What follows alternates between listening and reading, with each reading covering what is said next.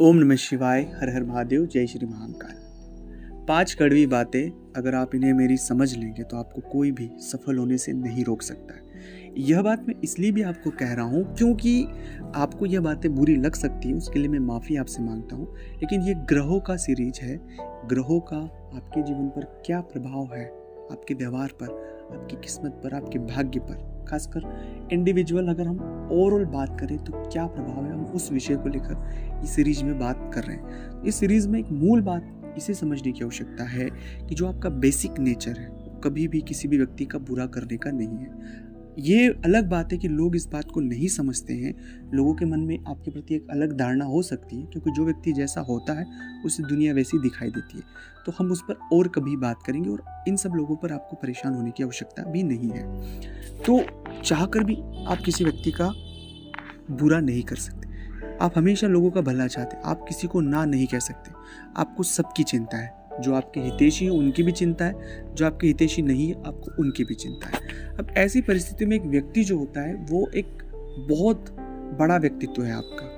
और इतना बड़ा व्यक्तित्व होने की वजह से व्यक्ति के जीवन में कई बार ऐसी परिस्थितियाँ निर्मित होती है कि वो सही निर्णय नहीं ले पाता है।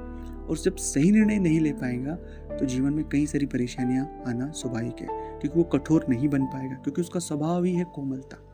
वो कभी किसी को ना नहीं कह सकता। वो कभी भी किसी व्यक्ति को चाह कर भी बुरा नहीं कर सकता।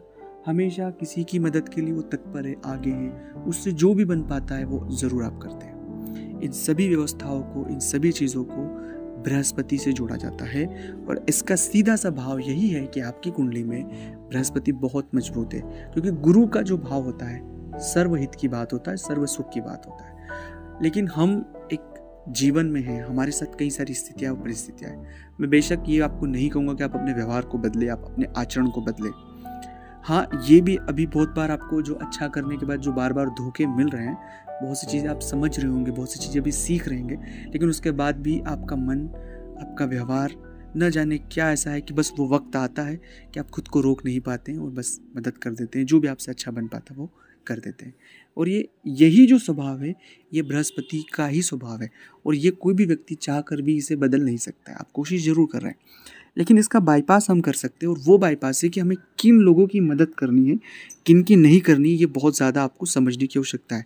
और कितनी मदद करनी है। मदद का सिर्फ़ ये मतलब नहीं है, क्योंकि अगर किसी व्यक्ति की बार बार मदद करेंगे तो आप उसे अपाहिज बनाएँगे, क्योंकि वो व्यक्ति खुद से कभी कुछ नहीं करेगा, वो आपके ही ज़िम्मेदारी रहेगी। और जब व्यक्ति कोई आपकी ज़िम्मेदारी बन जाएगा तो आगे धीरे धीरे वो परेशानी आपकी बढ़ जाएगी। इस चीज़ को बहुत हद तक आपको सही करने की आवश्यकता है, इस पर ही मूल बात आपको समझने की आवश्यकता है।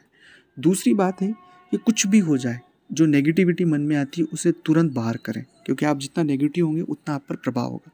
तीसरी बात है, लोगों की बातों में नहीं आना है। लोगों की बात आपको बहुत प्रभावित करती है।